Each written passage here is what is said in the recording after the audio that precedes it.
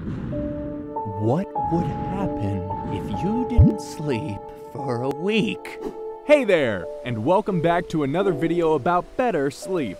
Although in this episode, we are talking about the opposite of getting better sleep.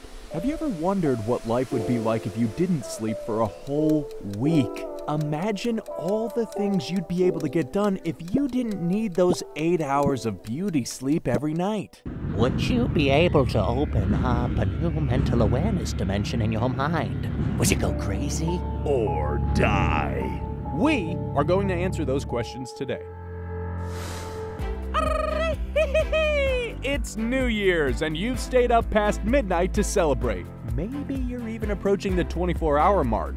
At 24 hours without sleep, your mind begins to cognitively operate at the same level as a brain under the influence of 0.10% blood alcohol level. If you was in the car, they lock your butt up real quick.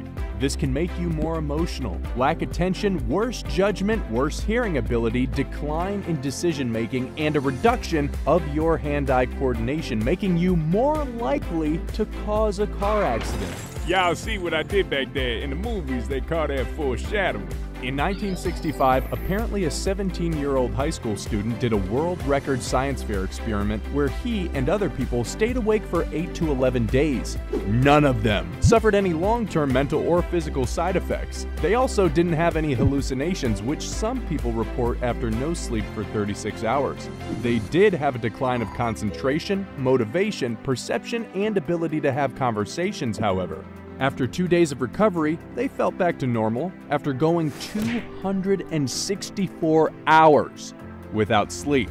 It seems that this historical high school experiment disproves a lot of modern theories about what happens to the mind and body with sleep deprivation. It seems that as long as you're not in a dangerous situation or operating dangerous equipment, lack of sleep cannot cause death. There are a couple of disorders which cause people not to sleep. Morvan's fibrillary chorea, or Morvan's syndrome, is one of those. It can cause agrypnia, or severe loss of sleep. It also has some other unpleasant side effects, but it can cause you to basically not sleep for several months. However, every day you can experience a 20 to 60 minute painful hallucinogenic experience. Yo, man, and like not in a good way. Another disorder which is more common is in bipolar disorder. When people feel manic or full of energy, they can sometimes not sleep for four days. Although there are cases of people getting along fine without sleep, the majority of scientific research shows that you should get your daily dose of sleep for healthy brain and body function. So, make sure to watch our other videos and learn how to have a better night's sleep. Alright, alright, best sleepers, what's the longest amount of time you've ever stayed awake? Let us know in the comments below. As always, guys, thanks for watching.